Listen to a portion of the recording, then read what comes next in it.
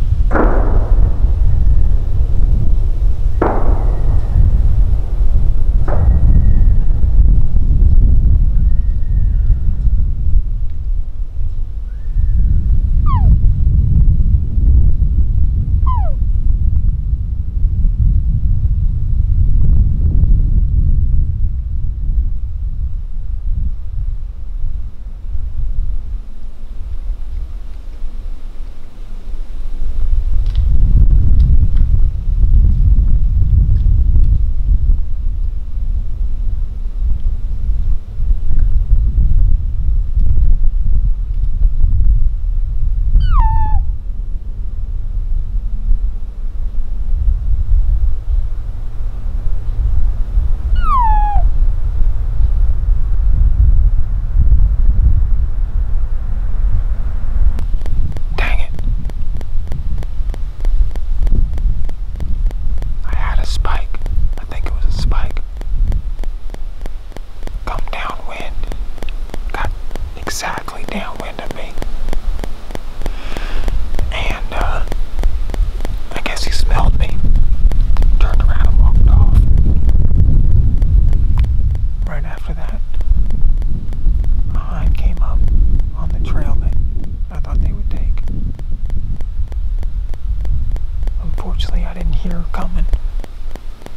And when she stepped out, she could see me. And I need to be ready for when they step out right there. Alright, so I don't like where I'm at. If any more deer come down where that hind did, I'm not gonna get a shot, so I'm gonna move.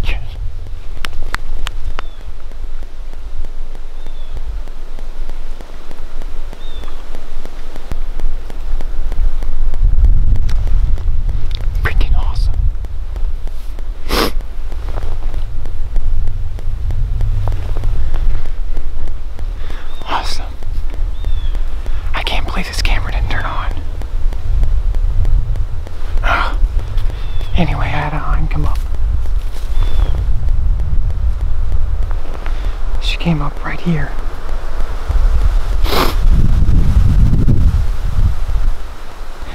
And, uh, She had two spikes following her.